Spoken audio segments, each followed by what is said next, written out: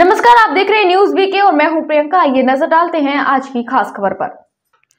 औरैया कोतवाली में उस वक्त हंगामा हो गया, जब भाजपा नेता अपने बेटे को थाने से छुड़ाने की सिफारिश करने कोतवाली पहुँच गए और हंगामा छोटा मोटा नहीं। हंगामा देखकर तो लग रहा था कि नेताजी को किसी का डर ही नहीं है, जो उन्होंने कोतवाल तक को धमकी दे डाली। जिसका वीडियो किसी ने बनाकर सोशल मीडिया पर वायरल कर दिया। और वीडियो में आप खुद साफ़ देख सकते हैं कि किस तरह नेताजी कोतवाली में भड़क रहे हैं। दरअसल मामला औरैया से सामने आया है, जहाँ बेटे को थाने में बैठाने पर भाजपा नेता नाराज़ हो गए और गुस्से से नेताजी इतने आग बबूला हुए कि सीओ के सामने ही उन्होंने कोतवाल को धमकी दे डाली। आपको बता दें कि मामला रंगदारी का था। जिसके बाद यह पूरा विवाद हुआ। विवाद इतना बड़ा कि वह जातीय संघर्ष में बदल गया। तो वहीं पुलिस ने रंगदारी मांगने के आरोप में पाँच नामजद और साठ अज्ञात के खिलाफ मुकदमा दर्ज कर लिया है। जानकारी के अनुसार जिन पर मुकदमा दर्ज हुआ है, वह सब ठाकुर समाज से आते हैं।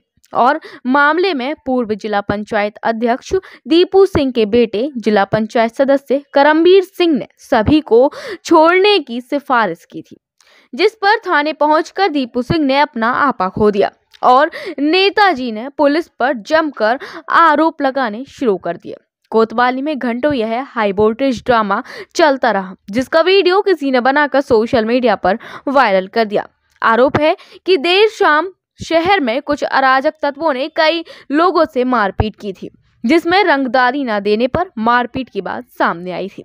इस मामले में अर्जुन दीक्षित ने तहरीर दी थी कि उसका गेस्ट हाउस है। छह माह पहले शनि चौहान ने अपने साथियों के साथ आकर तमंचा दिखाकर रंगदारी मांगी थी। जानकारी के अनुसार डर के कारण वह हर महीने रंगदारी भी दे रहा था। और इस महीने रुपए ना देने पर 50 से 60 लोगों ने उनके गेस्ट हाउस के कर्मचारियों के साथ मारपीट कर दी। विवाद में फायरिंग करने का मामला भी सामने आ रहा है जिस पर कोतवाली पुलिस ने नामजद 60 लोगों पर मुकदमा दर्ज कर लिया है। अभी बात कर लो मैं थाना छोड़ के नहीं जाएँगे। ये अवस्थी यहाँ कोतवाल बहुत भंगी है। अरे रिश्वत ले ये रिश्वत खाता है। ये भ्रष्ट है हम थाने में बैठे हैं। इन बहुत बड़ा बवाल होगा। कहा कि पैंतीस लोग इसलिए तुम्हें अंदर करना पड़ा। ये पंडित बात दिला रहा कोई है एप्लीकेशन दी मेरे नाम की? ना। ये आप बात कर ले। ले प्रमोद पाटिल को लगाओ। फिर सांसद को लगाओ। देखे तुम कितने बड़े रिश्वत खोरी हो और कितने बड़े तुम पंडित बाग हो। पूरे मामले में जब हमने अपर पुलिस अधीक्षक से बात की तो उन्होंने कहा कि वीडियो को संज्ञान में ले लिया गया है। और वीडियो की जाँच के बाद ही उस पर अवश्य ही कार्रवाई की जाएगी।